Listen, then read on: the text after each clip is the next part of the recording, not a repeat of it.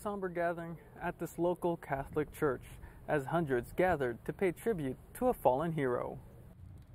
A crowd of Barong Tagalogs, police uniforms, and black dresses stood among floral arrangements outside of Corpus Christi Catholic Church in the San Diego suburb of Bonita Thursday morning. Most here are in tears as the American flag draped casket of Philippine born San Diego police officer Jonathan J.D. de Guzman made its way into the church, flanked by fellow officers. De Guzman was gunned down in the line of duty last week during a routine pedestrian stop. While the motive for his death remains unclear, hundreds came to the Thursday Mass in support of the 16 year veteran officer.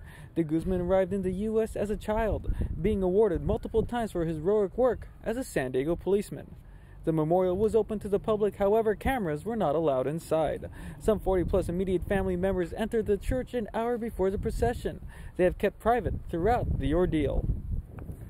An even larger memorial is expected for Friday. Governor Jerry Brown is expected to make an appearance. And then Officer de Guzman will also go on one final procession before his final internment.